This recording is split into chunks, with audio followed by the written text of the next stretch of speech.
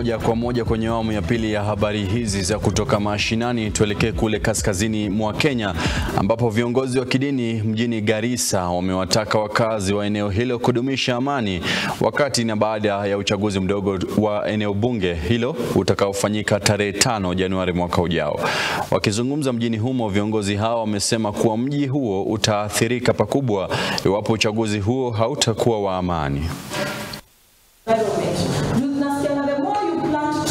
Kama hakuna amani, hatutakuwa na maendeleo, hatutakuwa na masomo, hatutakuwa na, na biashara yoyote.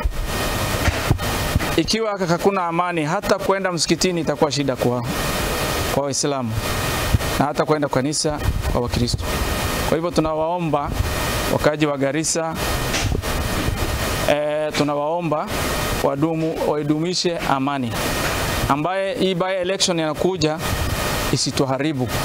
Angalia jirani yako, angalia urafiki yako, angalia dini. Ba Security wetu kuna fununu imefika ya kwamba mambo na hii soko yetu ya soko Mugudi ambao huwa inaadhirika sana wakati wa mauchaguzi. Tunaomba security wetu waongeze waongeze nguvu, walinde sana hiyo soko. Isije ikachomwa, ni kwa sababu ya mambo ya uchaguzi.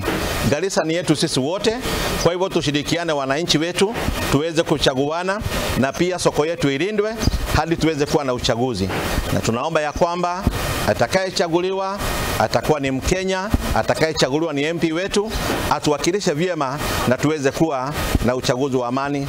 So our meeting today was to try on how we can actually bridge those gaps, how we can actually come up with a lasting solution towards a peaceful election for the forthcoming by-election.